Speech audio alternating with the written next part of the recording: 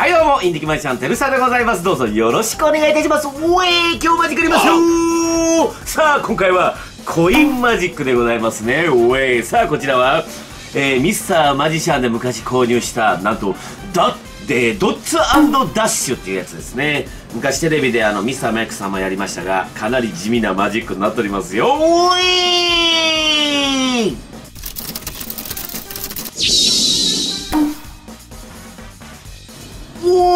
さあ、コインマジックでございますよ。さあ、銀貨と銅貨が3枚ずつあるぜ。そして使うのはこちら、銀の紙と銅の紙、そしてドッツダッシュがあるぜ。おいさあ、銀貨と銅貨を並べます。さあ、こちら銀貨にはダッシュ、銅貨にはダッツでございますよ。上。さあ、紙の横に乗っちゃうぜ。上。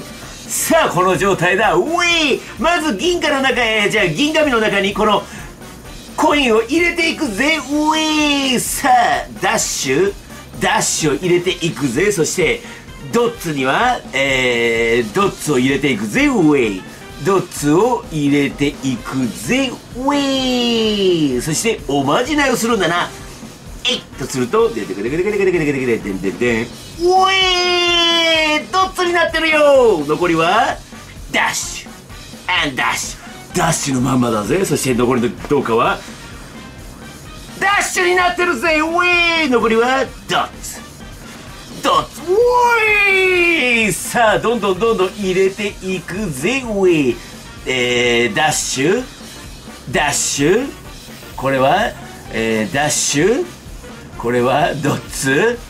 これはダッシュ？そしてここから出すと最初の dots。そしてお dots。そしてダッシュ。おい入れ替わってるぜ。さあこちらはデデデデデデンダッシュ。ダッシュ。and dots おい。ドットとダッシュが入れ替わるマジックなんだな。かなり地味なマジックだぜおい。さあどんどんどんどん入れていくぜ。ダッシュ。ダッシュ。ウェイ dots ウェイそして残りはデケデケデケデケデケデケデケデケデケデケデダッツダッツダッツそしてこちらダッシュダッシュダッシュウェイ不思議じゃないウェイ